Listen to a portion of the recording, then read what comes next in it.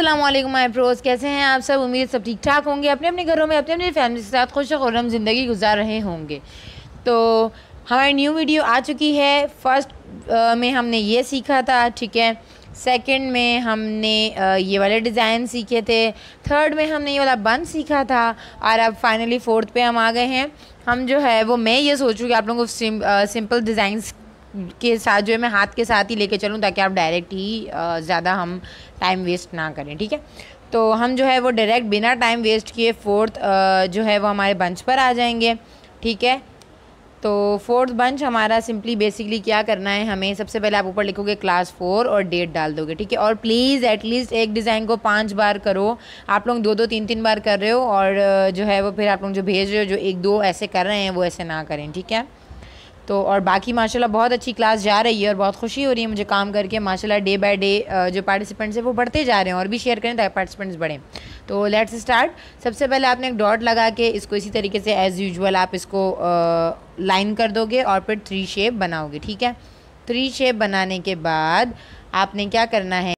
Three shape बनाने के बाद आप जो है वो इसको ईजी के लिए चार पार्ट्स में डिवाइड करोगे, यानी कि बस इमेजिनेशन में करना है, ठीक है? डार्क डार्क लाइंस नहीं लगानी है, बस जैसे मैंने इमेजिनेशन लगाई है, वैसे आप भी लगाओगे। और राइट साइड से आपने इस तरीके से राउंड लाना है सेंटर पे ला के रोक के, फिर इस तरीके से आप राउंड करोगे, अंदर की तरफ़ घुमाओगे, ठीक है? फिर लेफ़्ट पर जो आपका निशान लगा हुआ है वो, और सेंटर के बिल्कुल सेंटर से ही आपको ये चीज़ इस तरीके से राउंड करके एक केरी बनाओगे, ठीक है? उसके बाद उसको थोड़ा सा गैप दे के ये वाला आप एक लीफ बना दोगे, इसके पीछे। और सेम ऐसा लीफ आपको राइट साइड से भी बनाना है ठीक है? ये लीफ बन जाएगा। इसके बाद अगेन हम यही यू शेप जो है वो बना देंगे कंप्लीट ठीक है? कंप्लीट ये वाला यू शेप आप बनाओगे और इसके अंदर हम फिलिंग कर फिलिंग करेंगे। अच्छा जिनको ये हो आ, स्लो का कि भाई मतलब बहुत फास्ट लगे, क्योंकि मुझे वीडियो शॉर्ट बनानी, इसलिए मुझे फास्ट करना पड़ा है। तो जिनको स्लो करनी हो तो वो स्पीड में जाकर आप इसकी स्पीड कम कर सकते हो। अच्छा इसकी फिलिंग देख लो, आपको एक लाइंस बनानी है, ठीक है? इस तरीके से बस लाइन जहाँ आपको लगे कि बहुत ज़्यादा लॉन्ग हो रही है, वहीं से आपको इसका दूसरा कर्व स्टार्ट कर देना, ठीक है? आपको बस जिग्जैक में लाइन्स बनानी है। अब केरी को आपने ऐसे आप फिल करोगे, ठीक है? ये देख रहे हो मैं किस तरीके से कर रही हूँ। सामने सब मुझे ज़्यादा डिफाइन करने की ज़रूरत नहीं है। ठीक है? और ये भी आप देखो लाइन जहाँ लॉन्ग हुई, वहीं मैंने अपनी लाइंस का रुख चेंज कर दिया। आपको भी इसी तरह करके ये केरी भी कंप्लीट इसी तरह फिल करोगे। और जो आगे वाला रीफ है, वो भी आप इसी तरह फिल करोगे। ठीक है? हर फ्लावर अगेन कह रही हूँ एटलीस्ट पाँच टाइम करो, अगर नहीं अच्छा बन रहा है तो अगेन करो, ज़्यादा से ज़्यादा प्रैक्टिस करो। डेढ़ से दो घंटा आपको बस प्रैक्टिस ही करना है। जो आपको लगे, यार, ये वाला वीक है मेरा और ये स्ट्रॉन्ग है तो वीक वाले के ऊपर ध्यान दो। अब ये ज़्यादातर के गलत बनते इसलिए मैं यहाँ पे ये बनानी स्ट्रेट लाइन हल्का सा कर्व और नीचे। स्ट्रेट लाइन हल्का सा कर्व और नीचे, ठीक है? बहुत सिंपल है, ये वाला फ्लावर आपको इस तरह बनाने की कोशिश करो डिज़ाइन करीब करीब बनाओ ताकि उसमें खूबसूरती आए, ठीक है? ज़्यादा गैप एक ही डिज़ाइन के अंदर ज़्यादा गैप बुरा लगता है। डिज़ाइन को डिज़ाइन में गैप बुरा नहीं लगता, सही है? तो ये हमारा फ़र्स्ट फ्लावर कंप्लीट हो गया है आज का, सही है? इसके बाद, आज हम, इसके बाद नेक्स्ट चीज़ जो बनाएँगे बनाएँगे फिंगर्स सही है? फिंगर्स में ही अब आपको जो है वो लाइन के अंदर काम करना सीखोगे आपके एक लिमिट में कैसे चलना है। यहाँ तो आप फूलों को उड़ा लेते हो उड़ा लेते हो, यहाँ आप नहीं उड़ा सकते हो, ठीक है? फिंगर्स जो है वो मैंने अपनी फिंगर के हिसाब से बनाई है, जितनी मेरी फ़र्स्ट फिंगर है तो मैंने उस हिसाब से बनाई है। आप अगर लाइंस ले रहे हो तो आप एट लाइंस एटलीस्ट आठ लाइनों में लाइन ड्रॉ करोगे। डेढ़ सेंटीमीटर की चौड़ाई आपको देनी है, जैसे मैंने अभी दी, और इसको आप ऐसे ही ऊपर से राउंड कर दोगे ओके ठीक है, इसके बाद इसी तरीके से हम तीन फिंगर्स फ़िलहाल बना लेंगे, ठीक है? मैंने तीन फिंगर्स बना ली हैं। अब हम स्टार्ट करते हैं फ़र्स्ट फिंगर से। और स्टार्ट करते हुए रजिस्टर को मैं घुमा लूँगी। घुमाया मैंने इसलिए है कि क्योंकि ज़ाहिर जब हाथ आते तो वो हमारे सामने ऐसा उल्टे शेप में आता है, ऐसा फ्रंट पे नहीं आता। तो ये आपको उल्टा ही करके काम करना है, सही है? अब ये आपको इस तरीके से आप एक कर्व सी लाइन बनाओगे, उसी के ऊपर एक और लाइन बनाओगे, ठीक है? फिर आपको डॉट्स लगाने हैं। डॉट्स लगाने के बाद एक और लाइन आएगी। लाइन जितनी होगी ना, काम उतना खूबसूरत लगता है, ठीक है? इसके बाद यही घुमाकर राउंड और इसको हम इसके ऊपर एक और दो लाइंस लगा देंगे, ठीक है? अगेन हम थ्री की शेप बनाएँगे। सही है?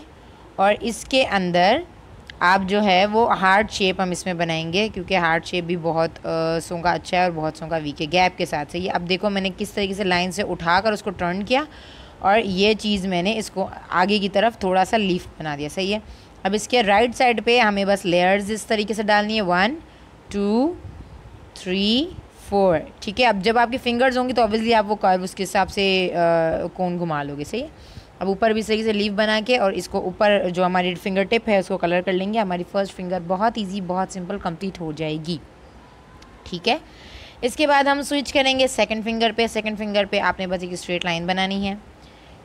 इधर एक और स्ट्रेट लाइन बनानी है। स्पेस कवर करना खुद से सीखो, ठीक है? ऊपर वाली लाइन को मैं थोड़ा थिक कर दूँगी और एक और लाइन बना दूँगी। और अब मैं इसके ऊपर एक राउंड शेप बनाकर इसको अगेन लाइन इसके ऊपर कवर करके थ्री का शेप बनाऊँगी, ठीक है?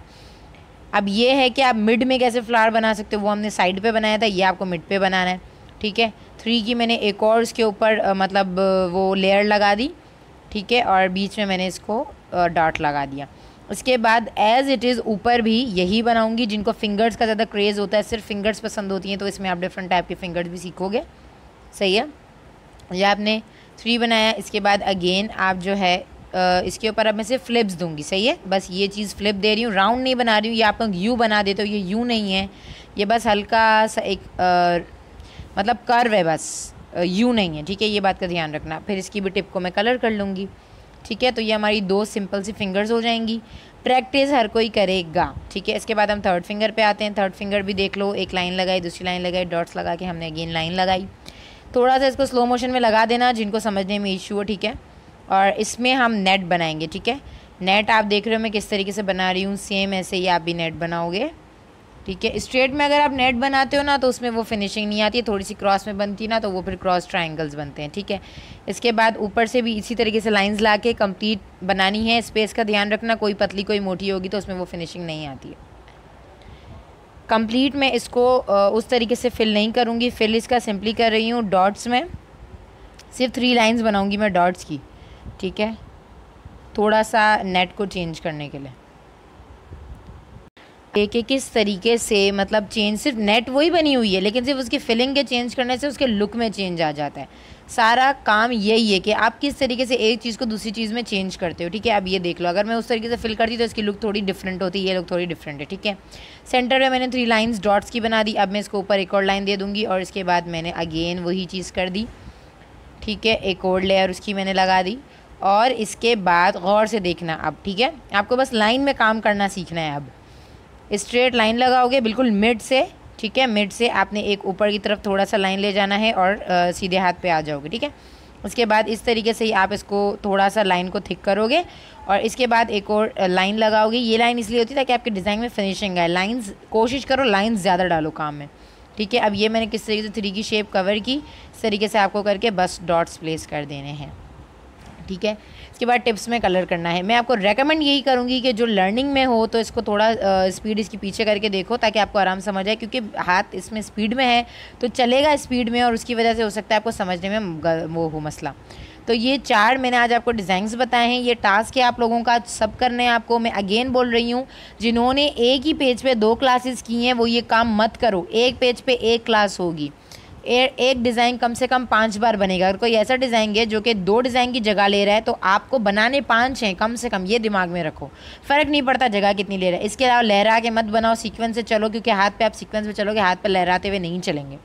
ठीक है? ये चीज़ आप लोगों को करनी है। आई होप कि आप लोगों को डिज़ाइन समझ आए हो, पसंद आए हो, और इसके अलावा इसकी प्रैक्टिस करके चारों की आप लोग मुझे बताओगे। बार बार बोल रही हूँ फाइव टाइम्स करोगे फाइव टाइम्स करोगे फाइव टाइम्स करोगे। अब जिसका भी फाइव टाइम से कम काम हुआ फाइव टाइम से ज़्यादा बेशक हो कम होगा, उसका वो काम मैं रिजेक्ट कर दूँगी। ठीक है? तो फाइव टाइम्स करके सबमिट करवाओ। कौन पेंसिल से करके करवाएँगे, ठीक है? और इसके अलावा बस आप लोग ये काम कंप्लीट कर लो और मुझे इंस्टा पर याद से सबमिट कर दें, ठीक है, काम? और इसके अलावा बस आज के लिए इतना ही। वीडियो आप लोग जो है वो पूरी देखिएगा। और लाइक प्लीज़ कर दिया करो कमेंट भी कर दो. Thanks for watching keep sharing अल्लाह हाफिज़.